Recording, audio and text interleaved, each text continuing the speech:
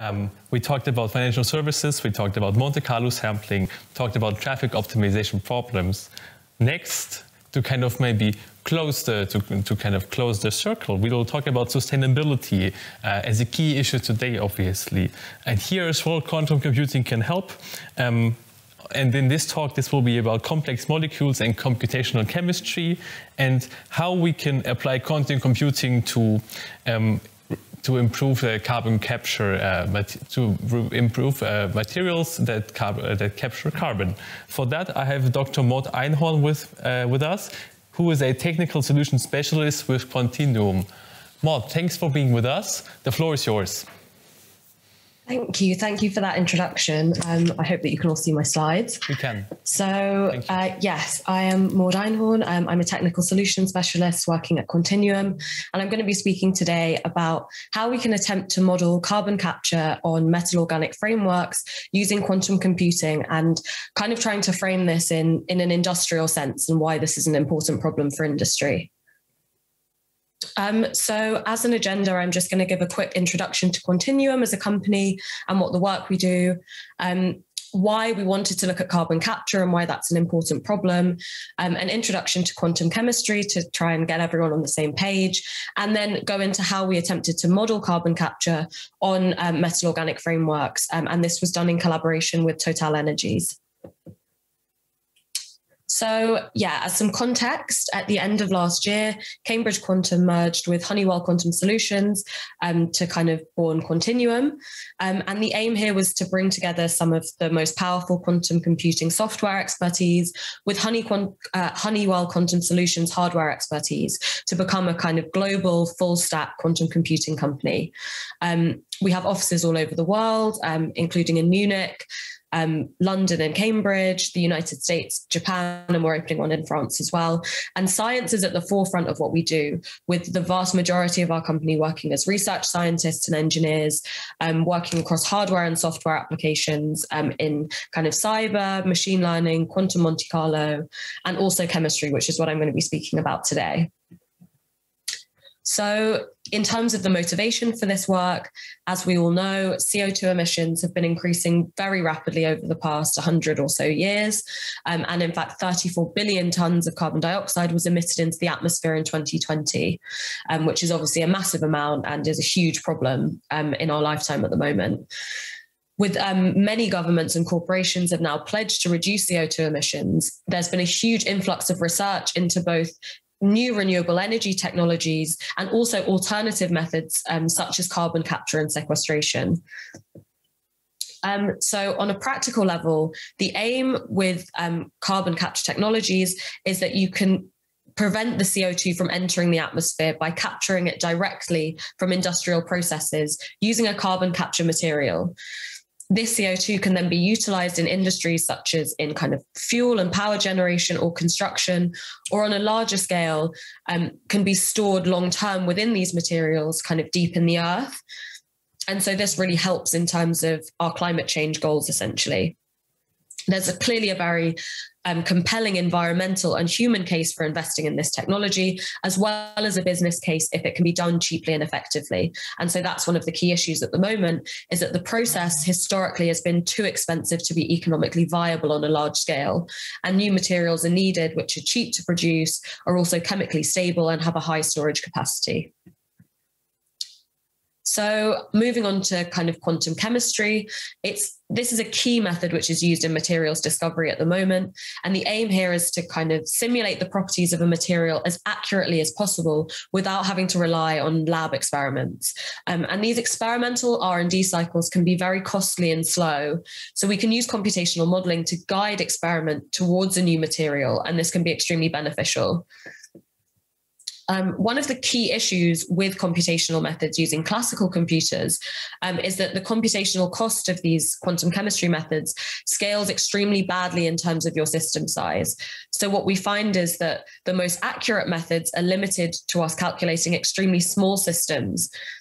And as we go to larger system sizes, we suffer quite a significant reduction in accuracy in terms of our results.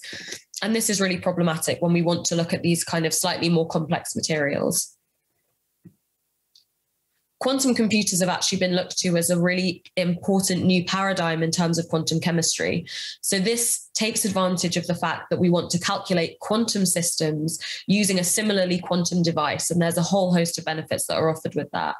And this gives us the potential to allow us to calculate much larger systems with higher accuracy than is currently possible with methods today, which are done on classical machines, such as density functional theory currently using um, NISQ devices, we're able to approach um, the chemical accuracy that is given by coupled cluster methods, but we can't really surpass that at the moment.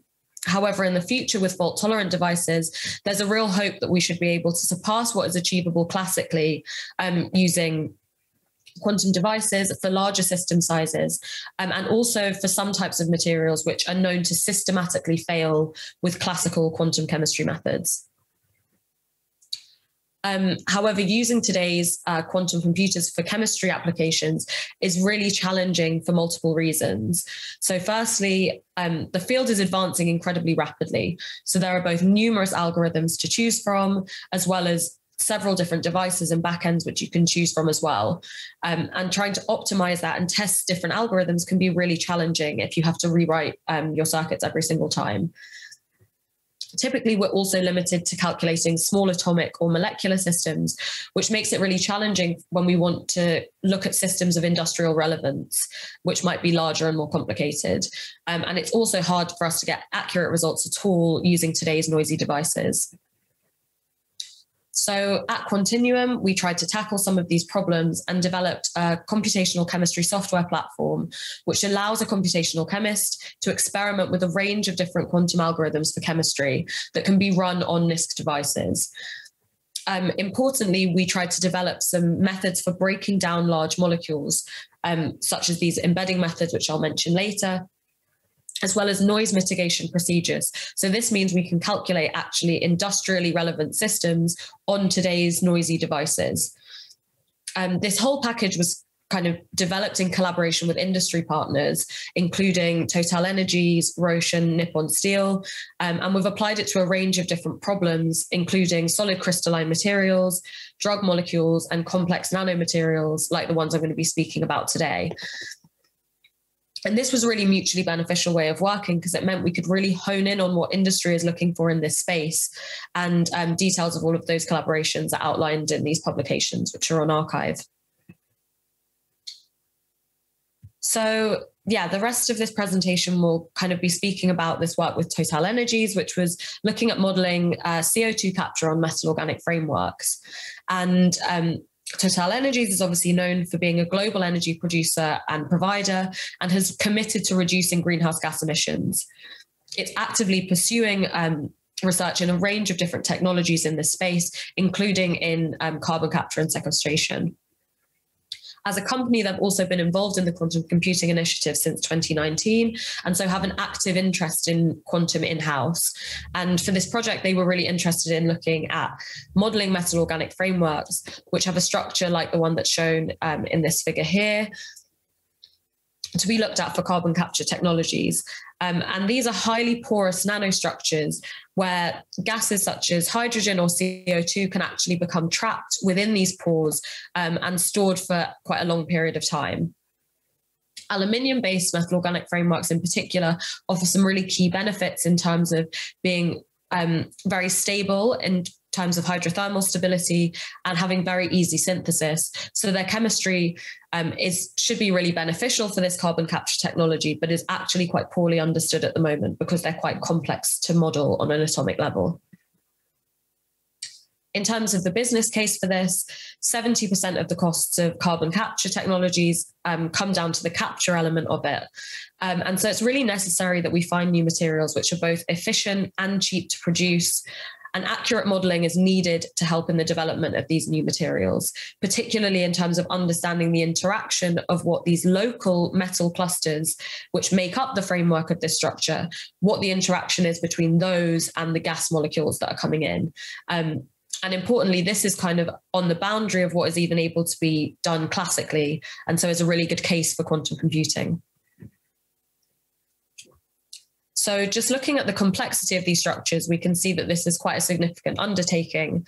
Um, and as I said, they present a nice problem in that they cannot be simulated accurately using first principles quantum chemistry methods on classical machines at the moment. And this is due to their size. So, a key objective for this project was how do we begin to go about simulating a system as complex as this and the gas sorption mechanisms that are so important to the carbon capture and how can we do this on NISQ devices and simulators? And this is a really key step in terms of quantum, kind of using quantum technologies for materials design and optimization. So in terms of our model we chose the aluminium fumarate model which is shown here. And this was picked as a representative model for the larger MOF structure. Um, this was chosen because it's known to be a building block which is found in water stable MOF structures already. So we know that this makes up the framework, and we're going to use this to kind of simulate what these interactions are going to be. We want to um, model the key interaction of this metal site with an incoming CO2 molecule and um, moving forwards, try and understand how that governs the carbon capture capabilities. So, in terms of the workflow, what we can see is we've gone from this very large extended structure down to one of the building blocks. But this molecule is still too large to be able to um, simulate on today's quantum um, simulators. So we utilize a novel fragmentation approach, which is based on density matrix embedding theory or DMET. Um, and this method is something that's known um, and is kind of based off a method that's used classically at the moment. And essentially, we break down the molecule into fragments, which are then able to be treated separately um, using whatever levels of theory that you want.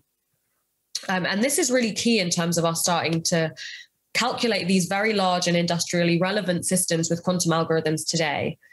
In particular, we're interested in calculating what our CO2 absorption mechanism is.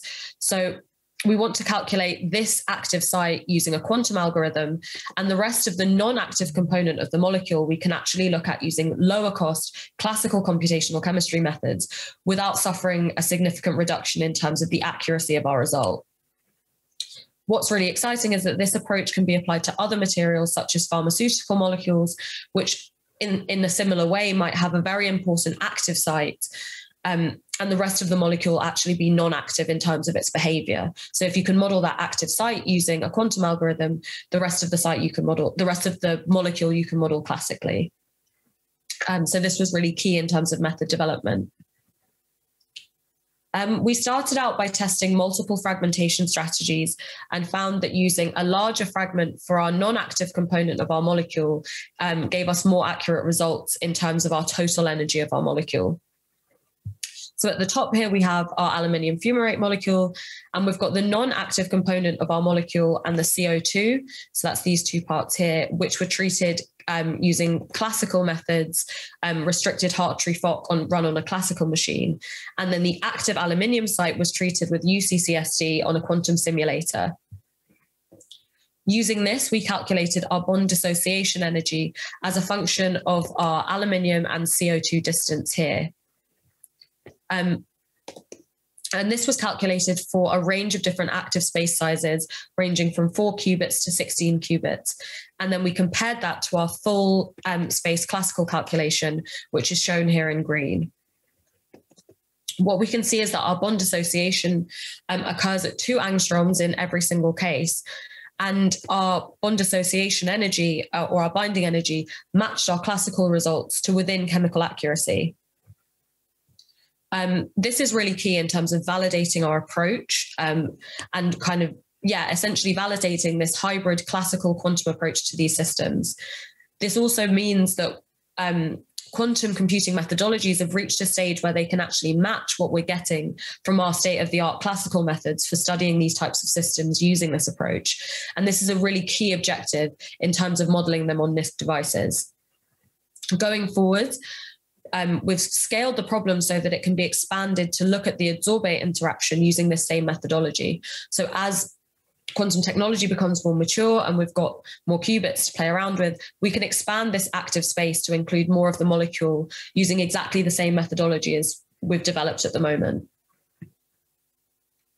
So, to conclude, um, what I've tried to put across in this talk is that firstly, quantum computing is rapidly advancing. And this is really mirrored in terms of the levels of investment and engagement we're seeing from industry um, in exploring quantum computing in this space um, I've tried to show that we can approach tackling one or how we can approach tackling one of these problems um, with an industrial partner. And importantly, in terms of chemistry, show that we've reached a point where we can begin to study industrially relevant systems and get accurate results using suitably scaled models on today's devices and simulators.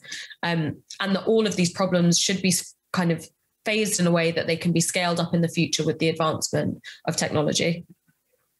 Um, yeah, so that concludes my talk. All of the publications referenced um, can be found here. And um, thank you all for listening. I'd be happy to take any questions. All right, Ms. Einhorn, thank you so much for your talk. Thank you for sharing uh, your experiences with uh, modeling these kind of uh, these kind of applications. Um, let me ask a few questions, maybe because we have around three minutes left, and we want to make sure we use them. Um, maybe question one. Um, what what is the biggest challenge you're working on right now in this concrete uh, application? What is there that you maybe still want to solve? What is the next step in this in this journey, looking at this specific types of material and modeling uh, carbon and carbon capture there? Yeah, so well, in general, as I said, one of the biggest problems is that these systems are so complicated that a lot of their interactions just can't be modeled effectively using classical computational chemistry methods. So we've taken the first step to try and simulate just the active site in the system using a quantum algorithm. The next stage would be trying to expand this space to include the CO2 molecule and a larger part of the framework. And so we're hoping that in kind of in the future we can expand that quite simply because we've got the methodology there. So this kind of forms as a really good proof of concept that our methodology works as a starting point I see. Got it. Cool. That sounds very promising. Also, that you can just then, then scale it kind of to, to other to other areas. I think that's a that's a very valuable thing. Um, other question, maybe that's a bit more more philosophical, but maybe it's, it's relevant as well. Um, if there was one thing that you would that people could take away from your talk today, if there was one thing that uh, they could be doing now after they, they switch off their, their device later, um, what would it be? Also, maybe re relating to uh, to your thoughts and what your your experiences doing this kind of work?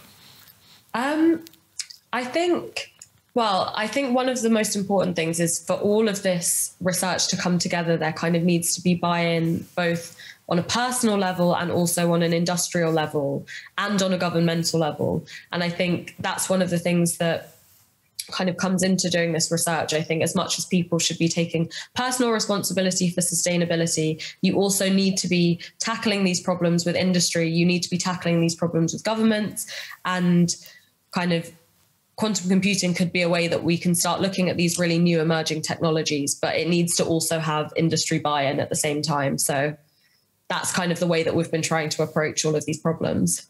Super interesting. I think this this more kind of uh, also global approach, multi-layered approach uh, makes sense. It's a complex issue, indeed. Yeah, nothing works in isolation. It all has to work together. I think. I see. Maybe there's time for one last question. There's a word I wrote down before because uh, I didn't know it. What would you say to so-called naysayers who say that this is maybe not the right way to go when it comes to applying quantum computing to these kind of issues?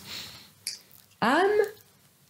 Well, I don't know. I think at the moment with a technology that is as cutting edge as this i don't think there's we don't know what the right way is to apply, to kind of approach all of these problems. I think what we're what's really key now is doing these proof of concepts and trying to work out firstly where we can find potentially find quantum advantage in the future and also estimate the resources that might be required for that. And I think unless you explore as many areas as possible, we're never going to be able to um, understand that. So I think at the moment it's important for us to try and tackle as many problems as possible and see where the advantage could lie in the future rather than limiting ourselves at this point. Thank you. I think that's that's that's a great spirit. Thank you so much for being with us today, for giving an insight into what you are working on, um, Ms. Eichhorn. Oh, thank you for having me. thank you so much. Enjoy the rest of the conference, um, and hope to see you uh, to see you again soon. Next time, maybe next year. Thank you so much.